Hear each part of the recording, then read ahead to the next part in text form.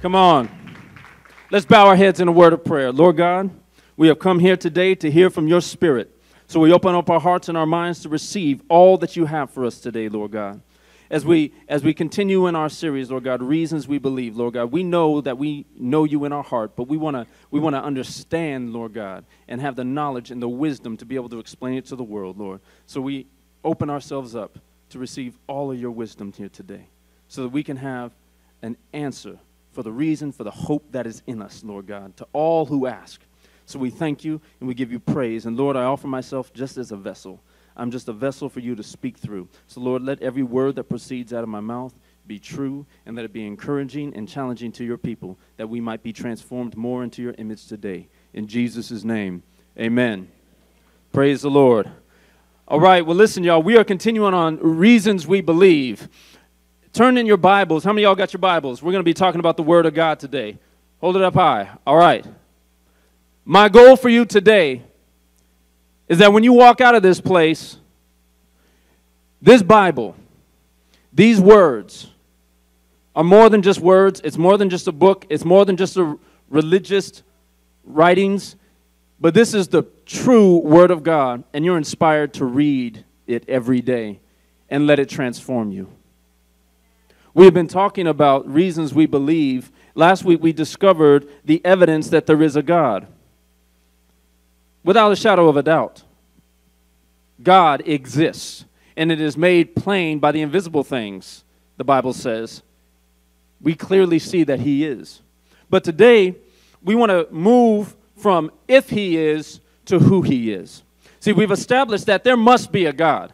And we agree with all the philosophers and great scientists who've discovered God through that, even great thinkers like C.S. Lewis, who went on to try to disprove God, but only found God and became one of the greatest apologists of the 20th century. It seems every time someone sets out to try and disprove God, all they do is find him. But you know what? The Bible says you will, you will find me when you seek me with all your heart. But he didn't say why you were seeking him. He just said, if you seek me. So we got people trying to disprove God, finding God. It's amazing. So we know that he is, but with C.S. Lewis in particular, excuse me, he went from uh, uh, uh, on a process of believing that there is a God to discovering who he is. So today is about discovering who God is, now that we've established that he is. So I want you to turn in your Bibles real quick to 1 Peter chapter 3. I just want to read again our foundational scripture and reiterate why we are going through this process. You know, God gave us a brain, and the human brain is amazing. The way we can process information, the way we can think in the abstract, the way we can reason and come to conclusions, make decisions to change outside of uh, any other uh, influence. It's amazing what God has allowed us to do. But for some reason, we think that once we become a Christian, we need to shut off our mind and we just just do. No, God gave us the ability to think and reason because through those things we, we discover Him as well. We need to go beyond just believing just because somebody told us and just because we feel, but also because we know. Those things are important. It is important to, to feel God and to know God. That is the relational aspect to Him. But it's so much powerful when you know and understand that God is and you can explain that to others. And not only is it great to do that, guess what? It is a command of God to do that. Did you all know that? That God actually tells us to be able to do that? If you were here last week, you know this. But in 1 Peter chapter 3, verse 15, he says, But sanctify the Lord God in your hearts and always be ready to give a defense to everyone who asks you a reason for the hope that is in you with meekness and fear. So we as believers have a responsibility to not only believe, but also be able to explain to people why we believe what we believe and do it in a manner that meets them where they are. Some people come to the Lord because He engages their heart and they feel something. Other people come to the Lord because He engages their mind and He reveals something. So we need to be ready for both to be able to love people with an unconditional love that can only come from the Father, but then also engage in conversation with people intellectually and be able to explain why we believe what we believe. This is a command of God. So, with that command comes a responsibility to study. But then the question comes in well, what do we study? Last week we studied what's called general revelation. General revelation is how God reveals himself to everyone, everybody, everyone on this planet, so that they are without excuse when they say, Oh, well, I didn't know there was a God. Really? You look at the sun and the moon, you look at the, the order and the systems that were created, the laws that govern uh, this physical realm, and you're going to say there's no God? Really? I don't believe that. With all due respect, I don't believe in atheists. I don't. And, and, and I say that with confidence because the Bible says you have no excuse. You know. God has revealed himself to you. So you're not, you're not saying there is no God. You're trying to convince yourself that there is no God because we want to be God. We want to be God. But how do we know this? How do we know these things about God? How do we know His will? How do we know that this is, this is true? It's because we have the Word of God, the Bible. We have the Bible that teaches us God's character, reveals His will to us, and teaches us how to interact with Him. But how do we know the Bible's true? Anybody ever wondered? I mean, you say the Bible, and because of culture, there's a certain reverence that it carries. Even unbelievers won't dismiss it or, uh, or say bad things about it a lot of times, you know, unless they're a dogmatic atheist and they want to destroy the Word of God. But a lot of people, even if they say they don't believe in God, they show it a certain level of, of reverence and, and respect. But how do we know, outside of what we've been told, that this is true? I went on a, on a journey of discovery when I was in my, my late teens, early 20s, because I thought, because God gave me the ability to think, if I'm going to base my entire life on this book, it better be true. Think about it. I base my, my marriage on it, how I raise my children on it, what I do with my finances, how I treat my neighbor, how I respect authority, what I believe is going to happen to me when I die for all eternity, how I view the world itself. I base everything on this book. Shouldn't we know that it's real and that it's true? And let me tell you, by asking questions, that doesn't show a lack of faith. It actually demonstrates you're exercising your ability to discover God in a deeper way. So people say, "Oh, well, you know, don't don't ask any questions." Yeah, ask a lot of questions. You read in the Bible, you see prophets; they're questioning God all the time, respectfully, with reverence, but they question. So I questioned. Okay, I believe it's real. I believe it's true, but how do I know? And in my discovery, I discovered that there are many people who had asked this question over the years, and that there was a, a, a list of questions that were come up that uh, skeptics came up with to kind of qualify a writing that would say it came, it, came from, from God and was divinely inspired. So there are 10 criteria that they listed would have to be true or met in order for this Bible to actually be the Word of God. So when you walk out of here today, you're going to know that the Word of God is true that it is inspired by God. You'll be able to explain it to others and be fully convinced yourself. Y'all ready for that? All right, just needed three, and I got it. We're good. So I'm going to go down this list of criteria and then give you the evidence for that.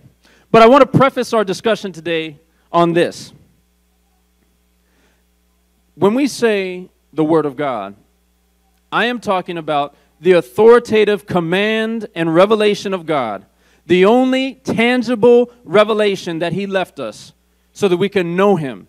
And I believe that the Bible is the absolute final authority on everything that it speaks on. That's the place that I'm coming from. It is the absolute final authority. So when we go to discover evidences that support this being that, I want to make sure that we understand that if I appeal to archaeology to validate the Word of God, it is merely to supply evidence. Because if I'm saying that archaeology just proves the Bible, then what has become the standard then? Archaeology. So God's Word is final period, because it's true. Not because archaeology said so, because then archaeology is final, or science is final, or uh, uh, history is final. No, the Word of God is the final authority. These are just the supporting cast. You guys understand what I'm saying? And it's important to have that in order. Otherwise, we exalt something above the Word of God when the Word of God itself is highly exalted. It is the supreme authority, and we are just looking at evidence that states that, not something that makes it the authority. God makes it the authority. Amen? So I just wanted to make that clear as we start. So the first criteria, and I'm going to move quickly, is this it would claim to be God's Word. If the Bible is from God, they said, well, it would have to be clearly stated that this is the Word of God. Turn in your Bibles to 2 Timothy chapter 3.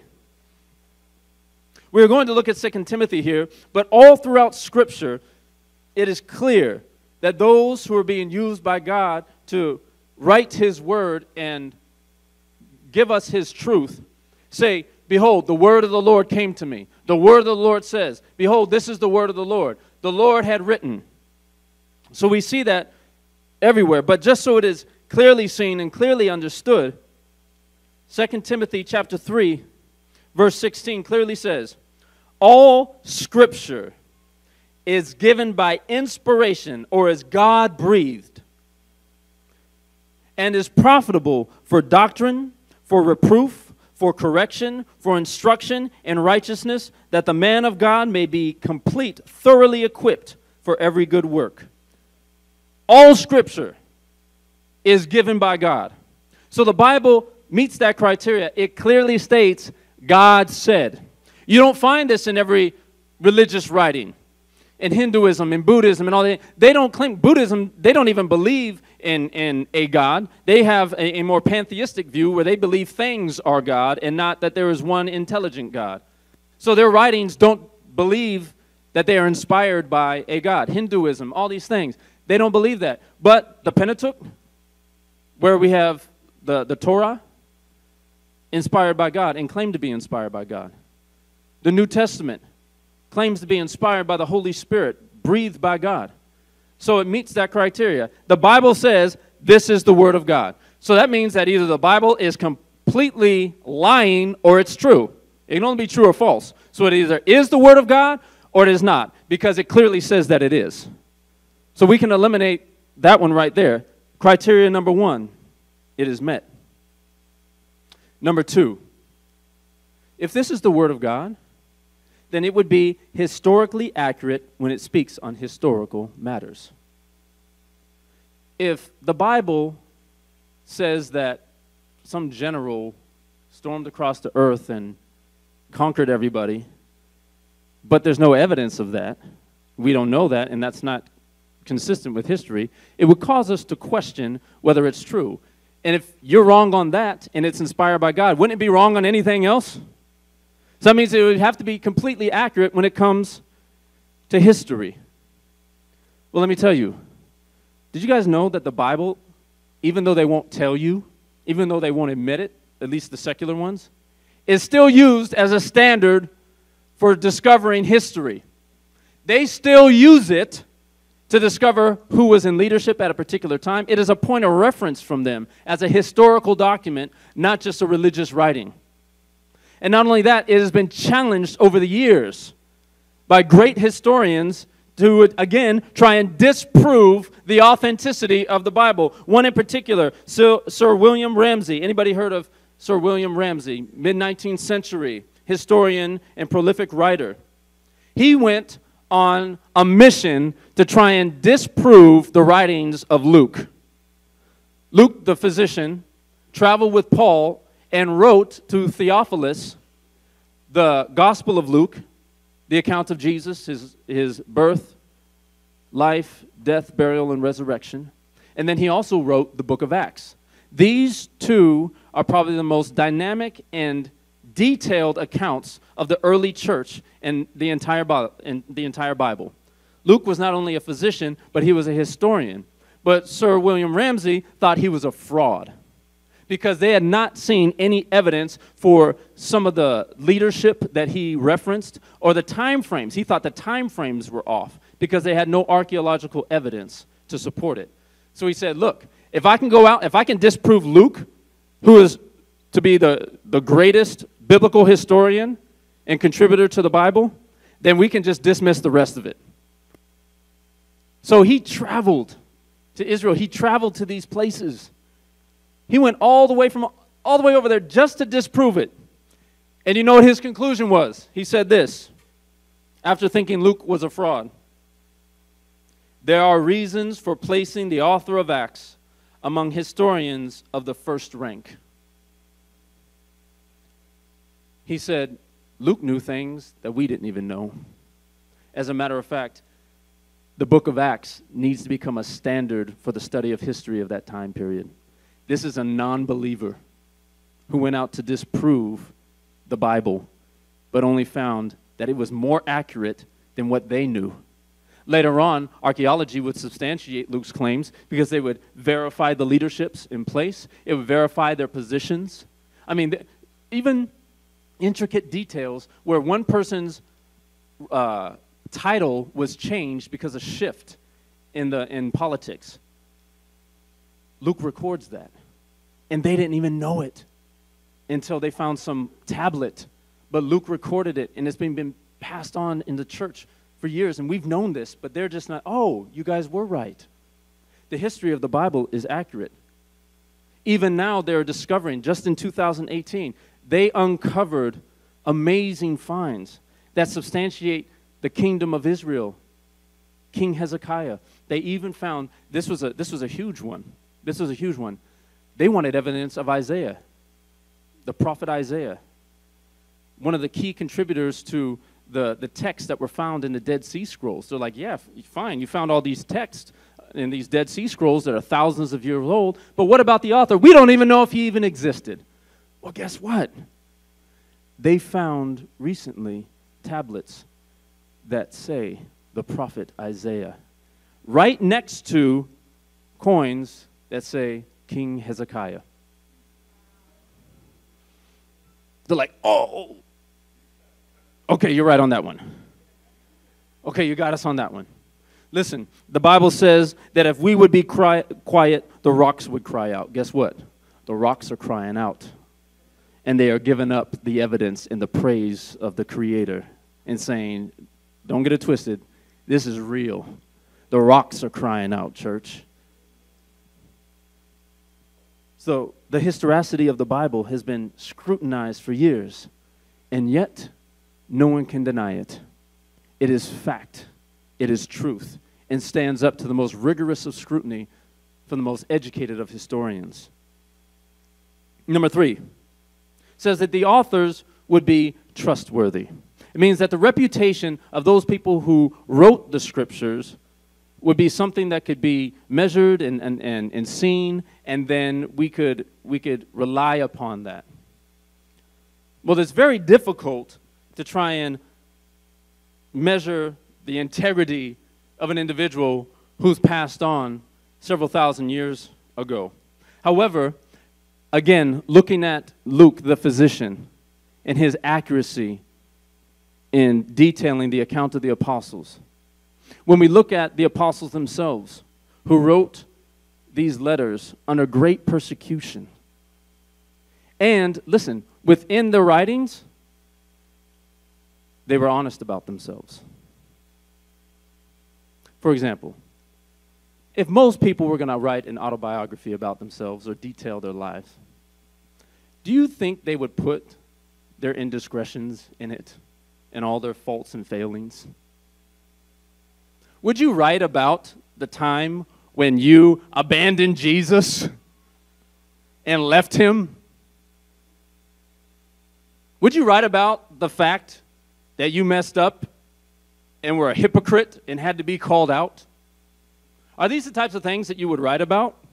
Most of the time, no. Usually, and y'all can attest to it, sometimes you just, you know, you put a little extra something on it just to make yourself sound a little bit better. They were completely honest and even revealed their faults to the entire world. So, can we trust these authors who are so intent on delivering the truth that they did not even hide their own faults from the entire world? I think we can trust them. Fourth criteria the book would be thematically unified and without contradictions. It would be thematically unified and without contradictions. People say, oh, well, the Bible is just a compilation of books written by a ton of people. Well, that's actually what makes it unique and amazing. The Bible was written by over 40 different authors over a span of almost 1,500 years on three different continents, three different languages. And yet, and, and, by the way, through different cultures, different influences, and different types of people. You didn't have scribes writing this all the time. You had farmers, fishermen, royalty, prophets, tax collectors, tent makers. I mean, you didn't have hardly any scholars in there. Yet through it all, they keep a consistent theme of redemption through the entire Bible. Everything in the Bible points to Jesus Christ and his finished work on the cross. Whether directly or indirectly through poetry, it highlights that there will be a Savior who comes from God, who takes away the sin of the world and redeems us back to our Father because we lost it in the garden. Every single book of the Bible points to that reality. And today, in the news, you can have a story that happened five minutes ago, and these people who are professional journalists can't deliver the same story. This one's saying this thing, and this one's saying the other, and we got iPhones and all kind of stuff, and we can't get it straight for five minutes, but we got 5,000 years of history, and it all lines up without contradiction. Now, skeptics will say they, they have this number. We have 400,000 contradictions in the Bible.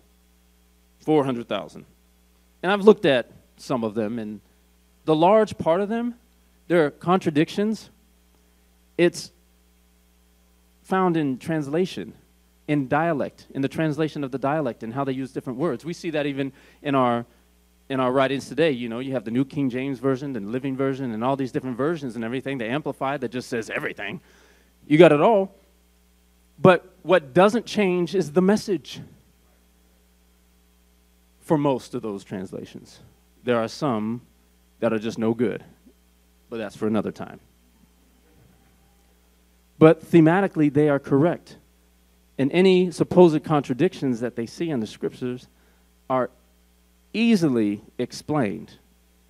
When you want to find something wrong, you will find something or create something but there is, it is without contradiction. The theme is correct. God will send a redeemer. God will send a redeemer. So it passed that test. Listen to this. Five, we would have received accurate copies of the original manuscripts. This is always a funny criteria to me because the amount of manuscripts that we have for other historical writings is laughable. It's laughable. We may have 60 manuscripts on an ancient writing that, and those earliest manuscripts are a thousand years after the original one was written. So what that means is, if we had, uh, for example, the closest, the closest historical writing to the Bible in terms of the number of manuscripts and the distance of time between it being written and it actually happening is the Homer's Iliad. There are 1,892 manuscripts. The earliest ones are about a thousand years removed from when it was actually written. But we read that in schools and we, we, we use this as, as history. The Bible the most recent count, based on the most recent findings, has 66,420 manuscripts. The closest other historical document, 1,892. The Bible, 66,420 manuscripts. that validate the translation of the Bible. That is mind blowing. That is mind blowing. And some of the manuscripts that we have, not a thousand years removed, but 35 to 40 years removed from the actual writing. 35 to 40 years. That means that there's not enough time for myth and legend to come in. It, it was true, it was accurate. There's more evidence that Jesus Christ existed than Julius Caesar. Yeah, we teach him in school and read his books and make movies about him all the time. And let me be quite honest. If it was just based on documentation, there's more proof that the Bible's real than you are. What do you got? A birth certificate and a driver's license? Two forms of ID? Credit card if they'll accept it? 66,420 manuscripts, ancient writings that verify that the Bible has been accurately transmitted over these thousands of years. That is God. He watches over His word. So, oh, well, I don't know if the Bible is real. Well, I got 66,420 pieces of information that says it is. How many you got? Uh, Wikipedia? You just disqualified yourself. It passes the test of manuscripts with flying colors. Now we're getting into the good stuff, y'all. Number six, this is where they start trying to, to really get at you. No, this is this is six. Number one, it would claim to be God's word. Number two, it would be historically accurate. Number three, the authors would be trustworthy. Number four, the book would be the, uh, thematically unified. Number five, we would have accurate copies of manuscripts. Number six, it would make statements that would reveal knowledge about the way things work beyond the knowledge of its day.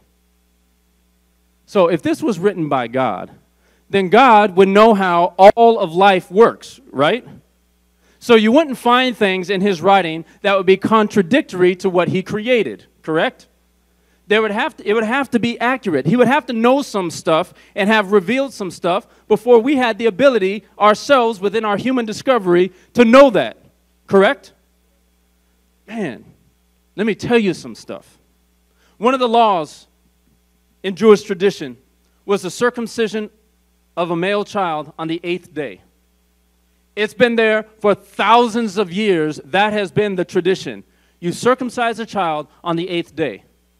Now, one of the things that you are supposed to do when you give birth to a child, I've got some experience with this, not birthing them, but having been there.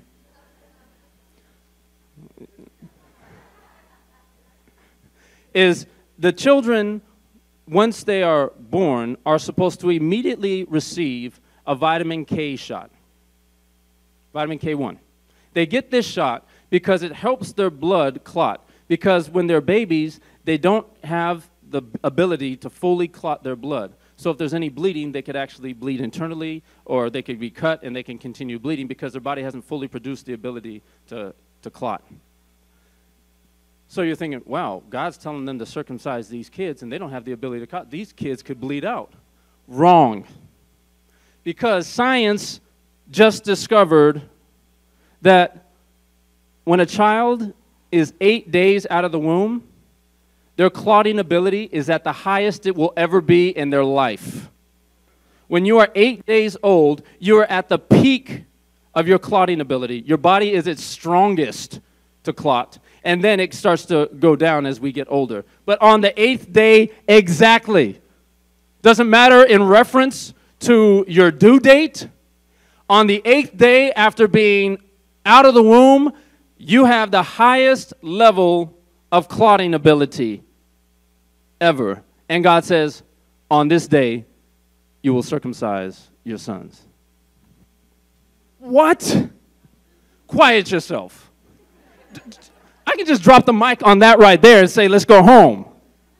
How do they know that? They don't know that. They didn't have the they didn't even know what you know, what was in the blood. All they knew was life was in the blood, and that's another thing. Life is in, you know, they can take a drop of blood and fall, figure out all your life. They know exactly what you've been through, what you've got, what you're fighting, about your family. The life is in the blood, the Bible says. But now we know that. Come on. God knows what he's talking about. He's no fool. Let's look at some other things. Oh, I got to go I got to go here just real quick. Isaiah chapter 40 verse 22. Isaiah 40 verse 22.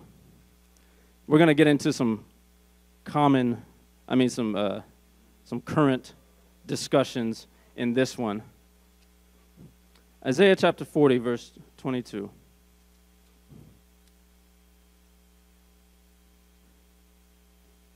says, let's start at 21 just because it kind of leads into it nicely. It says, Have you not known? Have you not heard? Has it not been told to you from the beginning? Have you not understood from the foundations of the earth?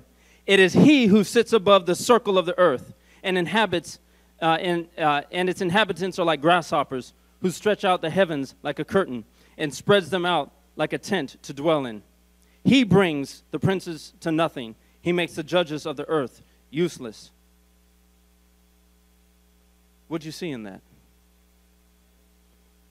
It is he who sits above the circle of the earth. Let me tell y'all something. The earth is not flat.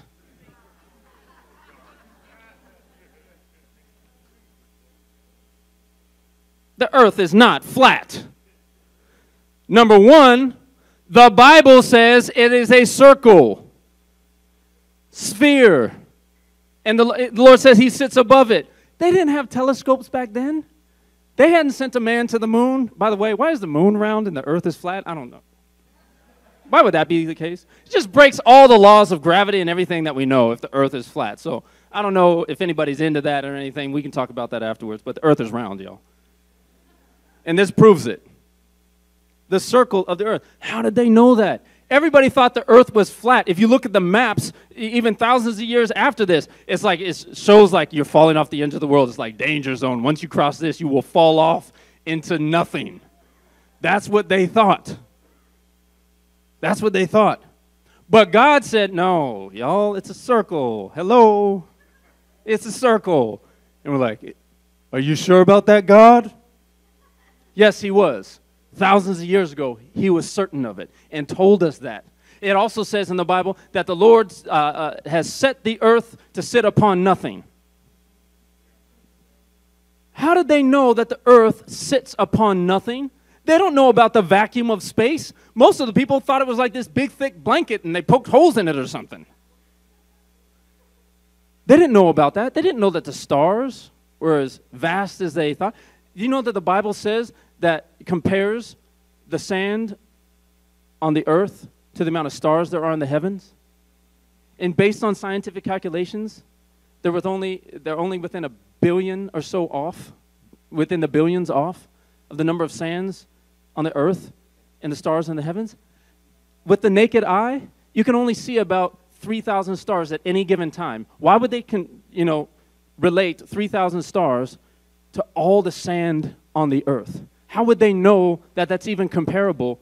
You know, we see we see pictures now where they take them through a special lens and you can like see all the heavens and it looks just like all these stars. You don't see that with your eyes. You only see that through special lenses. The most they were seeing on the clearest of nights was a total of 3,000 stars, yet they compared it to the sands on the sea, and that's within a few billion, according to scientific calculations. What? God knew something. They weren't just throwing random things out here. God had revealed something to them who wrote this. Number seven, it would make predictions about the future that could not be known through natural means. The Bible is the only historical writing that accurately, accurately predicts future events. People say, oh, well, the Quran predicts certain events. And no, all of the Quran's predictions, it was Muhammad uh, predicting about himself, and they were self fulfilled. So I can say, I predict I will shift to this side of the room. Looky there. Yeah, doesn't count, man. Doesn't count. That was in, within your power to control that, so that doesn't count. That's not prophetic, that's pathetic. But the Bible, not only do they predict things in the immediate future, but God, through His wisdom, allows things to be predicted in the distant future so that there is no way that the people of this time could impact the things of this time. I'll give you a great example. Turn to Daniel chapter 8. Daniel chapter 8. Y'all know where I'm going with this. I'm going to paraphrase, paraphrase just for time's sake. I want you guys, this, this is homework. Go and read Daniel chapter 8 and then I want you to do a little history lesson on a conqueror named Alexander the Great. Daniel, who wrote his revelation uh, in, the, in the 600 BC time frame. About 606 BC is when we see this being written. Alexander the Great came on the scene 336 BC, died 323 BC. He started ruling and reigning at 336, died 323.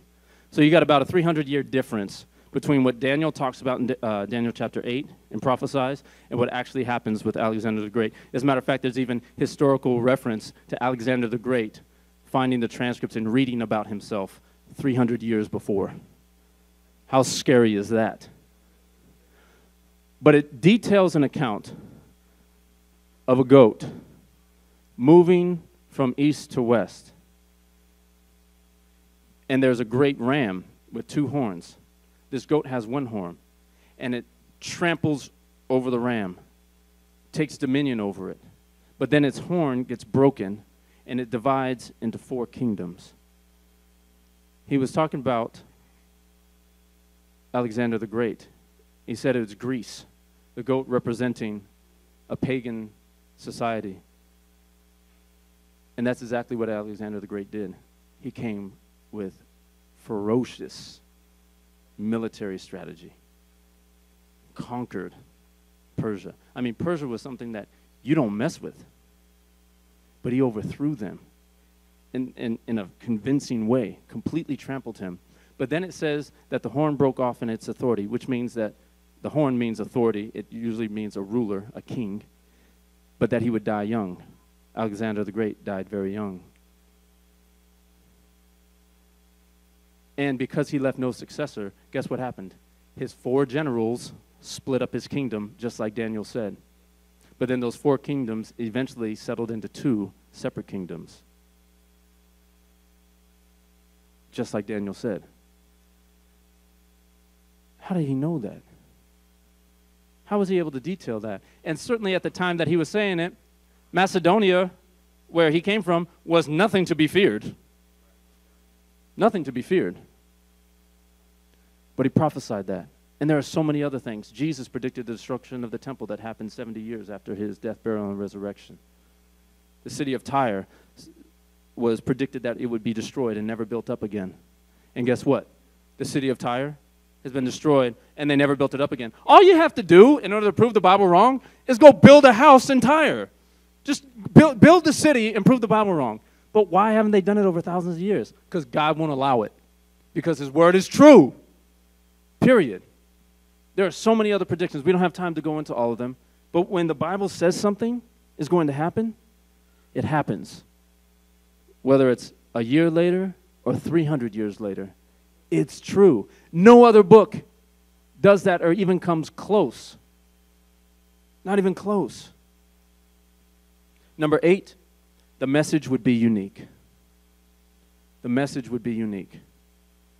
Every other religion in the world, every other philosophy, really, too, is about man helping himself or helping himself get to God.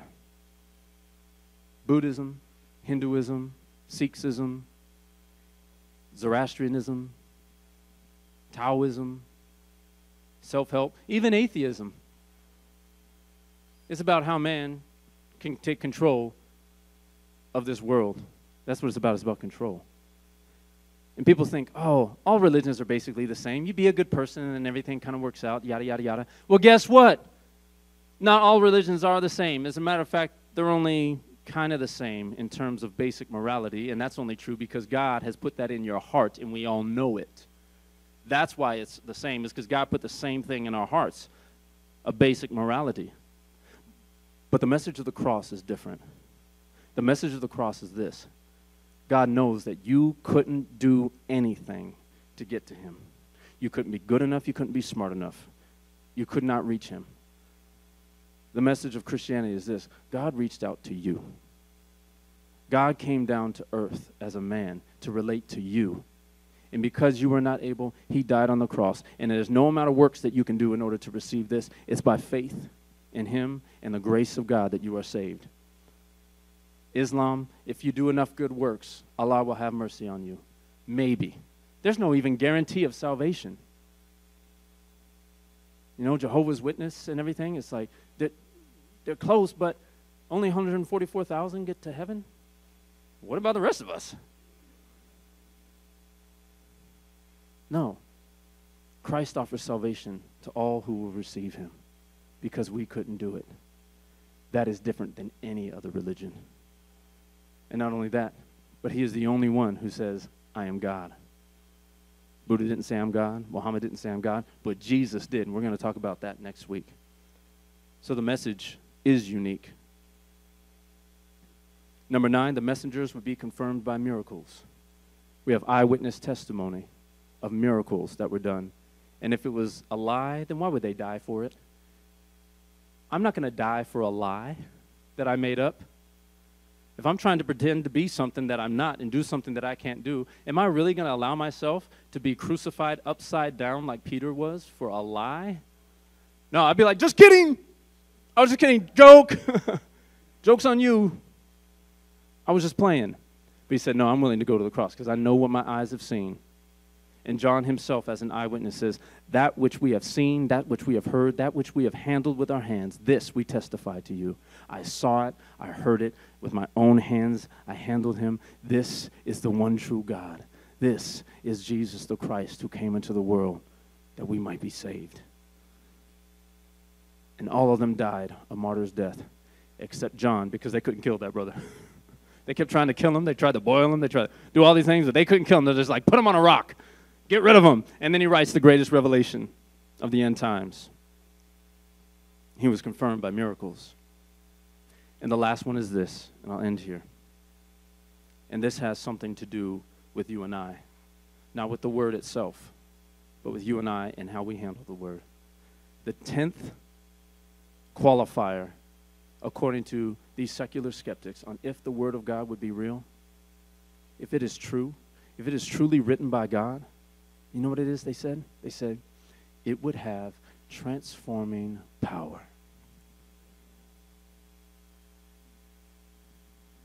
Transforming power. That means when all else fails, when you've tried all the gurus, when you've tried all the science, when you've tried all the, the pills, when you've tried all this other stuff, the Word of God has the ability to transform you in every way and every aspect of your life the Word of God transforms if we will allow it. That is the evidence. As Christians, we can't say we, we believe this and then not allow our lives to be transformed by it. I don't know about you, but when God got a hold of me, or I let Him get a hold of me because I resisted Him, man, once He came in, He crushed and broke down and transformed me, and I became a new man. I remember when I died. I remember when I died, and I became something new. I thought I was new, but I wasn't. His word came in and crushed me and made me something different. And I've got people who can testify of that. I'm not the same. I was different. I was different. And that is our responsibility to let His word come in and do what it's going to do. His word does not return void. What He says is what He says. And what He says happens. It is power.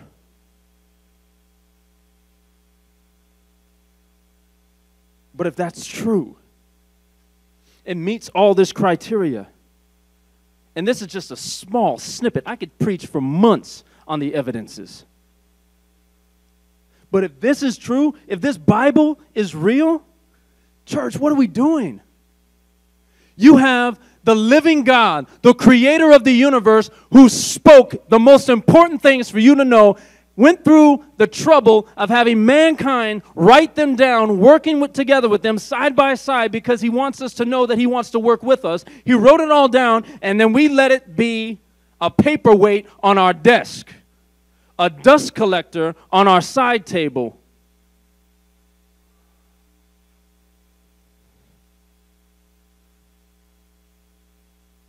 Decor in our house, an accessory on our way to church. This is power. This is truth. Why would we not read it? Why would we not accept it? Why would we not live it if this is true? See, the problem is, is we've allowed this word to become too common. We treat it like it's common.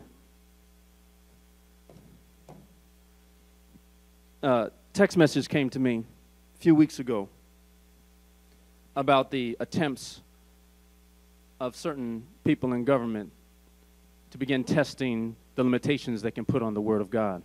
We had one here in California. AB 27, I think it was. Can't remember exactly what the, the code was. But it was basically saying that any literature that came against uh, the homosexual or alternative lifestyle would be considered hate speech. And it wasn't directly said, but it was kind of an indirect test to see how close they could get to getting the Bible illegal or removed. Because it's coming. I mean, that's the attempt. And I'm not going to be shy about it. We know who's trying to do it. We say the devil, but there's a certain movement within a certain party that kind of advocates that. I'm being careful. But it, but it is what it is. It is, and, I, and I, don't, I don't mean to be coy, but I, we, we want to talk about the reality of things. That there's, a, there's an agenda. There's an absolute agenda that is being pushed, and we need to be aware of that. We cannot pretend like it's not there. It is. It's there. But it's being tested again. You know, it's kind of like gas prices. They just try and raise it up a little bit, and all of a sudden, five years later, boom, we're paying five bucks a gallon. You're like, what happened? Well, it's being tested. It's being tested, y'all. And look, I got this text message, and it was saying, look, we gotta we gotta fight against this. Because eventually they're gonna try and start trying to take Bibles away. It's happened before in history, and we're foolish to think that it couldn't happen again. But then I thought about it. I said, you know what? That may not be the worst thing that could happen to us. As a matter of fact, I think it would be good. I think one of the best things that could happen to Christianity is some good old fashioned persecution and taking away our Bibles. Uh, what, preacher? Let me tell you why. What makes something valuable? Scarcity. We can go to the 99 cent store and get a Bible. And because we can go to the 99 cent store and get a Bible, we treat it like it's worth 99 cents. There's a, a video that I saw years ago of an underground church in China. Now, you guys know Communist China pretty much outlaw anything that has to do with God. Socialist society, in order for a socialist society to function, the government must be God. So they eliminate God. Just as a heads up, y'all. They eliminate God and then heavy persecution on the church. People in prison for decades, years, tortured for preaching the gospel of Jesus Christ. This underground church, a box comes in. And they don't know what it is because they have to be so careful when they're doing this. But there's probably about 100 people in this small room tucked away because they cannot be discovered. They open up this box. You know what's inside of it? Bibles. Tears pour out of their eyes. A praise like you won't see at any Hillsong concert erupts. And they are ecstatic. And they dive in over each other to grab this Bible. And all these Bibles are distributed. And then you know what happens next? Complete silence. As they hug and kiss the Bible and begin to read it.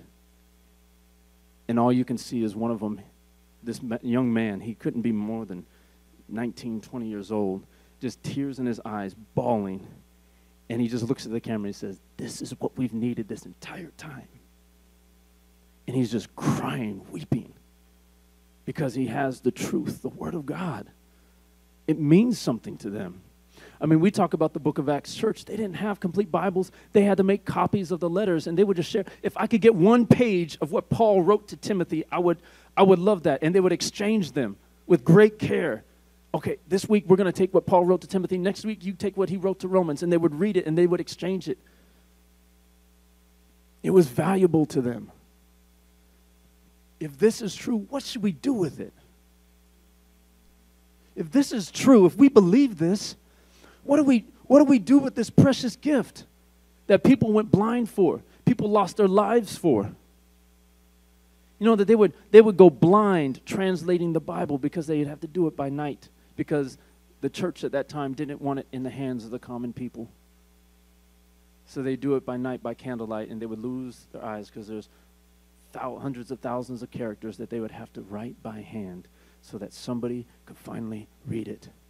But here we are with printing presses, with leather bound, with it on our phones, and you can get any translation. Heck, they'll even text you a word of the day.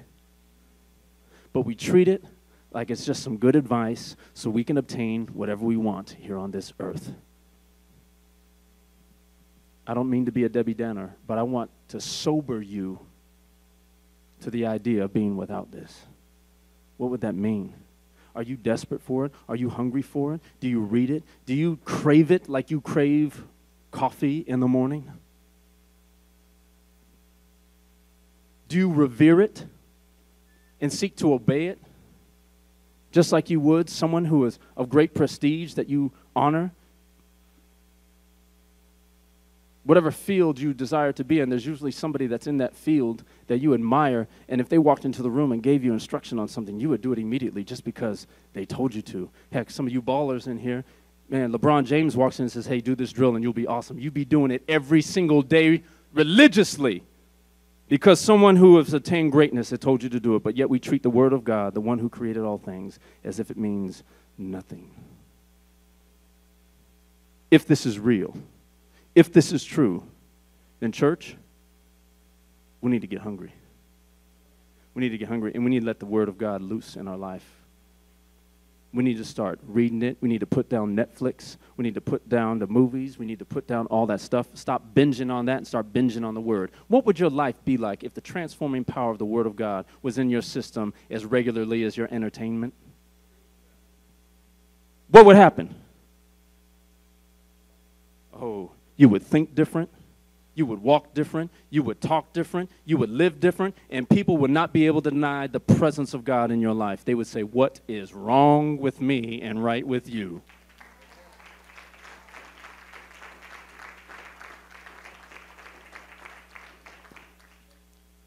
So, church,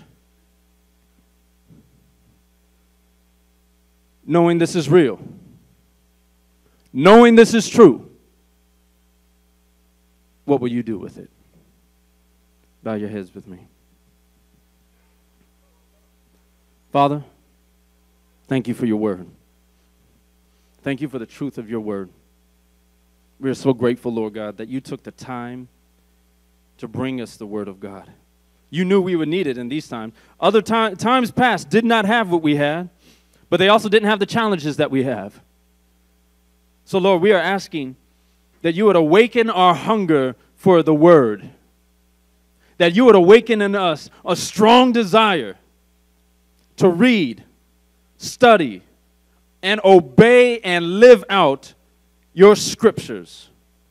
Father, we repent for treating it like it's just another book to read. These are the very things that you thought most important for us to know and understand in our journey to eternity. Shame on us for not revering it. Father, we just ask that you would lead us by your Holy Spirit into your word and to a full understanding of it, Lord God. We ask for a reverence to have towards it. And Lord, that it would be powerful and transforming in our lives so that we could be witnesses to those who have yet to receive salvation. We need that, Father. And we thank you that you are faithful to finish the work that you have begun in us, Lord God. Thank you, Lord. I just want to ask you very quickly if there's anybody in here and you haven't accepted that you are a created being, that there is a God in heaven who made you, loves you, knows you, and wants to spend eternity with you. I want to give you an opportunity to know him, and it happens in this manner that you believe that he is. You accept what he's done for you, and that is that he came down to earth himself to die for your sins because all have sinned and fallen short of the glory of God, and we must be perfect to have fellowship with him. But he died so that you could be perfect if you accept that sacrifice of the Lord Jesus Christ and you believe that not only did he die, but he was raised on the third day, proving that he had dominion over death, then you will inherit eternal life. And then it begins a wonderful journey of discovering who he is and who he's created you to be. Without him, you know, you're not certain of your purpose, nor are you certain of your destiny. But with him, you will know that and be assured of it. And if that's you, you need to make that decision today. I want to give you an opportunity just to raise your hand. And by raising your hand, you're saying, Yes, I want to take those steps to know Jesus in that way. I want to repent from my sins. Repent's just a fancy religious word that means you turn away from your old life and towards a new life that He has in you. When you do that, you'll know that you know that God is real You'll know your purpose, and He'll lead you to it. That I know. Just as much as I know that that Bible is real, I know that to be true. So if you need that, just lift your hand up high and just say, Yep, I need Jesus Christ in that way. Anybody at all? Amen. Amen. Anybody else? Let me ask you if you've if you've known the Lord and you've walked with him, but you've never given him full place in your life, you've said, you know what, I've kind of known Jesus, but I haven't let him take control of my life. He's been, he's been Savior of my life, but I haven't let him be Lord. See, he needs to be Lord and Savior. The Lord and Savior, Jesus Christ. If you want him to be Lord of your life, just lift up your hand right now and just say, Yep, he's going to be Lord of every area of my life. Anybody at all? Anybody at all? Amen. Amen. Amen. Get up out of your seat and come down here. Let's pray. Let's be bold about it. Come on. The Holy Spirit's given you boldness. Come down and let's pray together.